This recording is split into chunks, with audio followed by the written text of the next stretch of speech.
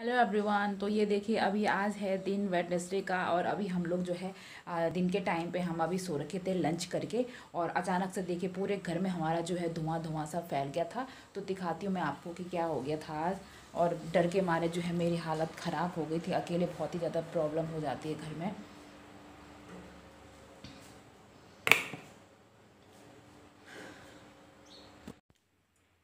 तो ये देखिए क्या हालत हो गई है मेरी किचन की।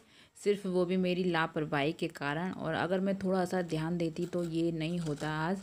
तो ये देखिए, ये है मेरे दूध का पतीला। एक किलो दूध मैंने इसमें गर्म करने रखा था और पूरा ये जल चुका है, राख हो गया है। तो पूरा ये देखिए, नीचे लग गया था और अगर थोड़ी देर और हो जाती तो पूरा जो है गैस आग पकड़ लेता इधर से और फिर पूरी आग लग जाती, पूरा धुआँ तो पूरे घर में भर ही गया था। तो ये देखिए, किस तरह से थोड़ा सा जो है धुआँ मैंने अभी पानी डाल के कम कर दिया है।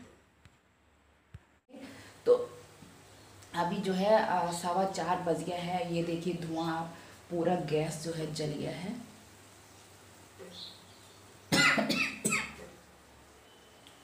पूरा धुआँ भर गया है, देखिए।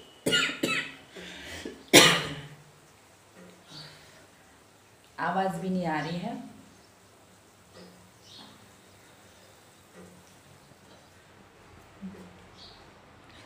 और ये देखिए, टाइम अभी तो अभी देखे यहाँ पे टाइम हो रहा है सवा चार और हम सो गए थे तीन बजे।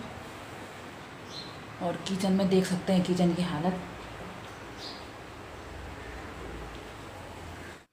देखिए, यहाँ पे पूरा पतीला जो है दूध का जल चुका है। एक किलो दूध हम जो है लगाया रहता है और हमेशा मॉर्निंग में हमारा दूध आता है, लेकिन आज नहीं आया। तो अभी जो है स्कूल से आते टाइम जो है मैं ये दूध लेके आई थी और लंच करने के बाद या उसी टाइम पे मैंने ये चढ़ा दिया था दूध और वैसे मैं फटाफट से जो है बर्तन धो के जाती हूँ और आज मैंने बर्तन भी नहीं धुले, दूध रख के बस चले गए बेडरूम में और मेरी बेटी ने जो है दरवाज़ा बंद कर दिया किचन का और यहाँ पर देखिए बच्चे अभी सो ही रखे हैं और मैं भी यहीं पे सो रखी थी तो जैसे मुझे स्मेल सी लगी तो मैं बाहर आई और फिर मैंने किचन का जब दरवाज़ा खोला तो पूरा धुआँ से जो है किचन भरा हुआ था, सारे रूम में भी फैल गया और उसमें मुझे कुछ समझ में नहीं आया तो मैंने फटाफट से खिड़की दरवाजे खोले फ़ैन चलाया और थोड़ा सा जब धुआँ कम हो गया तब मैंने सोचा कि चलो अब मैं वीडियो भी बना लेती हूँ। उस टाइम पर तो कुछ समझ में नहीं आता है।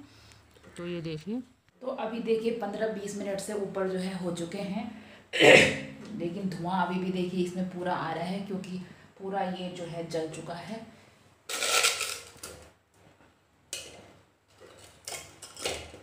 तो ये देखिए, पूरे जो है आग पकड़ ली थी, उसके अंदर सारे दूध ने तो मैं देखिए दिखा रही थी चाकू से, और ये देखिए जो पूरा जैसे आग जलती है, उसी तरह से देखिए पूरे आग लगी हुई है, इसके अंदर कोयला टाइप का ये देखिए इस तरह से बन गया है। तो ये मैंने जो है खाना खाते टाइम रख दिया था, पौने दो दो बजे दूध, और अभी देखिए सवा चार तक जो है जलता रहा ये। तो देखिए मेरी डर के मारे हालत ख़राब हो गई है, और आज जो है मेरे बेटे की तबीयत भी सही नहीं है, स्कूल से आके वो सो गया है, दवाई दे दी है मैंने उसको। तो मेरी डर के मारे हालत ख़राब हो गई, बच्चे अभी अभी सोए थे तो मैंने उठाया नहीं। तो ऐसा किसी के साथ भी हो सकता है। तो आप लोग बहुत ध्यान दीजिएगा लाइट और गैस में कभी कभार इस तरह के जो है हो जाते हैं, कभी भी नहीं हुआ था अभी।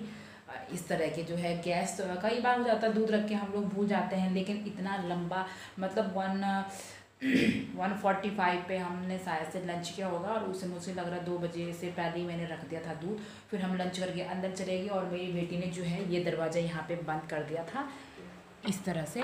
और फिर धुआँ आया तो मुझे कुछ दिखाई नहीं दिया।